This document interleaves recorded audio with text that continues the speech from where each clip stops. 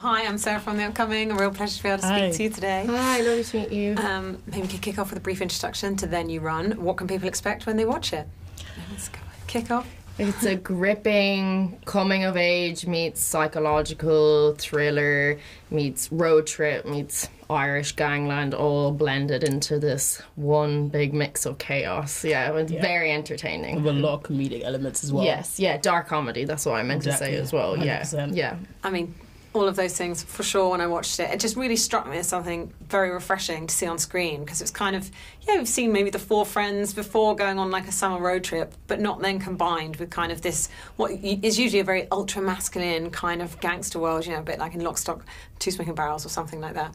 Um, when you first read that script, what was the appeal? Oh gosh, I loved it straight away. Especially the relationship between the girls because the way that they talk to each other is just so honest and so real. It doesn't feel like they're cuddling each other all the time. It's just straight up like banter, like for example, like the Inbetweeners kind of banter that you see if anyone's watched it. But um yeah, like that's what really drew me towards the script because every page you'll just keep on turning because you want to know what happens next because it just keeps surprising you. So yeah.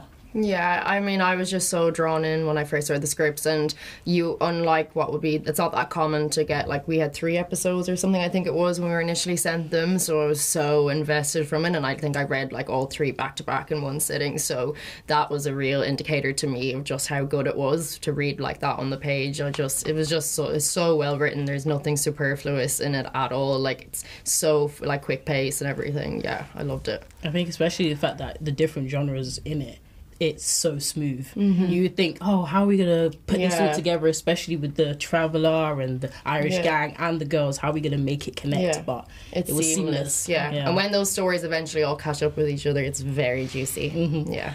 And in terms of each of your characters, maybe you could just say a bit about how, how you saw each of them and, and how you kind of prepared to play them because they, all feel so lived in, and particularly the relationships between them. And I know there was the book that it was originally based on, so I don't know if you returned to that or it was on the script or, or if you had some time together, you know, to kind of bounce off each other to develop each of your, your different characters. It was really a mix of everything you just said. I think, again, the scripts where we had so much time actually before filming, which was great to just reread, reread that material and just absorb everything about it. And so I read the book just like out of curiosity because there is like some overlap and kind of picked and choose like different pieces that I thought were relevant to Tara and relevant um, to the world. And again, just spending time with each other. Obviously, the four girls are the core of that show, and really lucky that we have a real friendship between the four of us. So that was so imperative to what you see on the screen and that real chemistry there. So yeah, it was a big mix.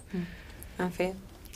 with Ruth, um, she was just written on the page. That's how easy it was. Like um, Ben did such a great job that it was so easy to just figure out how she's gonna work. She's such a normal Southeast London girl with a with a situation where I've seen these girls before and I know I know Ruth personally in that way, so it was quite easy to copy and make it my own and add my personality in it as well to just add that little freshness. So yeah.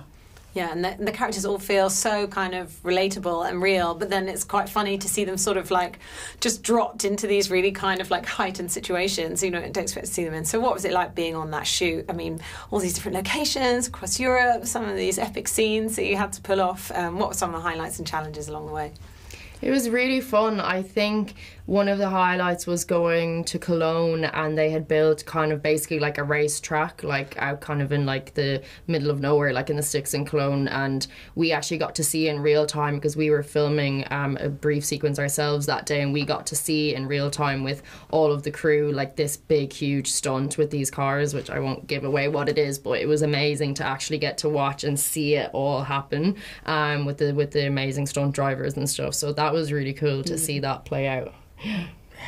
it was it was just great traveling around especially the fact that every scene that we had to do was just going to be something exciting and fun um, in the different locations that we have. I mean my one of my best locations best i, I would say i had most fun on the side of the roads the highways because it felt like you was really there you was on set you was in the world or then you run to be honest. So yeah it was a great time And I think a key part of kind of the this shift in tone, sort of like always landing, is the humour, often really dark humour. Exactly. And I was just wondering if you had kind of a favourite line. I mean, particularly the banter between the girls. You know, it's often quite like caustic. You know, that kind of female friendship where it's a bit love hate.